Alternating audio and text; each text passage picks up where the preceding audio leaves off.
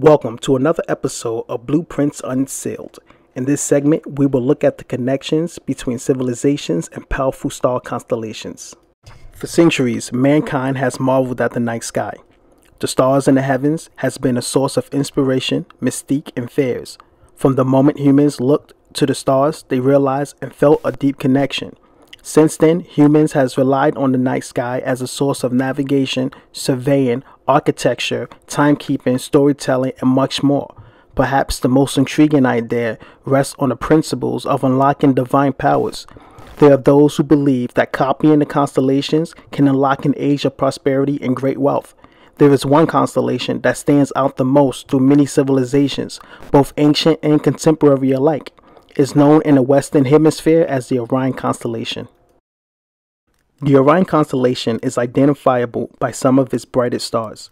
First up is Betelgeuse, can be identified as a very bright and red star which forms the left part of Orion's arm. Next is Bellatrix. This star is the third brightest in the Orion constellation, and it sits 5 degrees west of Betelgeuse. Next up is Rigel. This is a blue supergiant.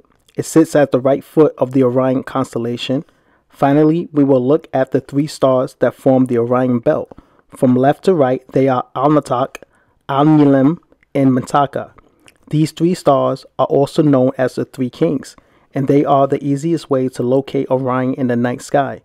The story of Orion the Hunter held a special significance in the beliefs of many ancient cultures. It was a central figure of Egyptian pantheon of gods. The god of resurrection, which was revered by ancient Egyptians as Osiris. In other words, the stars of Orion was associated with Osiris, the god of rebirth and afterlife, by the ancient Egyptians. Next, we will see how the Orion constellation reveals itself in many structures, both ancient and contemporary. Next, we'll head over to ancient Egypt. Located in the outskirts of Cairo lies one of the seven wonders of the ancient world, known as the Pyramids of Giza. They consist of the Great Pyramid of Khufu, the Pyramid of Khafre, and the Pyramid of Menkaure. They stand an amazing 455 feet high, which even in today's terms is considered pretty high. Their construction took place somewhere between the 3rd and 4th Egyptian dynasty. The construction of the pyramids took many years to build. The pyramids are affixed in true north, meaning if you position a compass flat, the direction of the pyramid will point to the same direction where the north needle is situated. Now, if we look at how the three pyramids are aligned, we see that they are strikingly identical to how the stars of Orion's are aligned.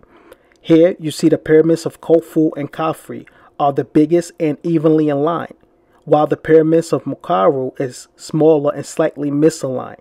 It is believed by experts that this alignment is to reflect the relationship between the alignment of Al Tanakh and Alnilam, with the smaller and off center of the star Mintaka.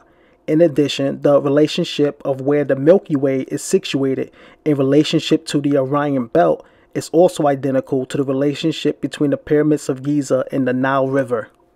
Next, we'll look at the connections with Washington, D.C. Even in modern times, we can see the constellation of Orion's Belt mirrored in the positioning of the White House, Capitol Building, and the Supreme Court. These three locations are important to United States democracy. The White House is home to the President.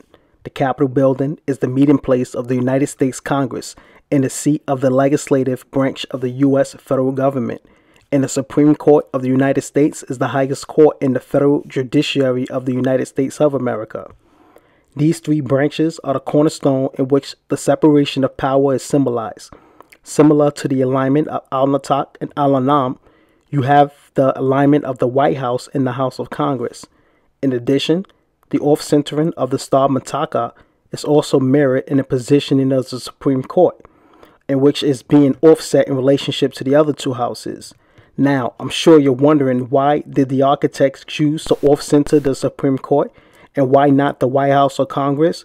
Well, some may argue that this was not done intentionally, but what do you think? Next, we'll look at the connection with Paris. Now that we look at Paris, one of its most iconic structures is the Eiffel Tower. It stands 1,000 feet tall and was built to commemorate the centennial of the French Revolution, and it shows off France's modern mechanical prowess on a world stage. Northeast of the Eiffel Tower is the Luxor Obelisk, It was originally built in Egypt as a pier that stood on both sides of the portal of the Luxor Temple in the reign of Ramses II. The right hand stone obelisk is now at the center of the Place de la Concorde in Paris, France. Northeast, we find the Vendôme column. The original column was started in 1806 at Napoleon's direction and completed in 1810. The column was designed and built to celebrate the victory of Austerlitz. Again, we find that these instrumental monuments are again aligned in the same format as the stars are aligned in Orion's belt. Next, we'll look at the connection with New York. The Freedom Tower, or better known as One World Trade Center, is located in downtown section in New York City. It stands 1,776 feet tall. The building was constructed after the original Twin Towers were destroyed during a terrorist attack. In the aftermath, now lies a memorial site which includes footprints where the original tower stood. The layout now includes the new World Trade Center, the North Tower footprint, followed by the South Tower footprint. Now, just like the constellation of Orion Belt, it appears that the layout just mentioned mirrors the layout of Altanat, Alnilam, and Muntaga. In conclusion, no one can know for sure if there's a connection between the constellation of Orion's Belt and the layout of such cities and places, which includes Egypt, Washington, D.C., Paris, and New York. The speculation that the connections exist may just be urban legend. However, you may look at it, the similarities between each of these cities' layout is uncanny. Now, whether mirroring the constellation will bring power and prosperity to any of these places is true, well, just let you be the judge of that. But in any event, just like the Orion constellation, all of these cities and locations mentioned above all give off a feeling of awe and astonishment and has showcased some of the best architectural design the world has ever known. Thank you for watching. Please click on the like and subscribe buttons.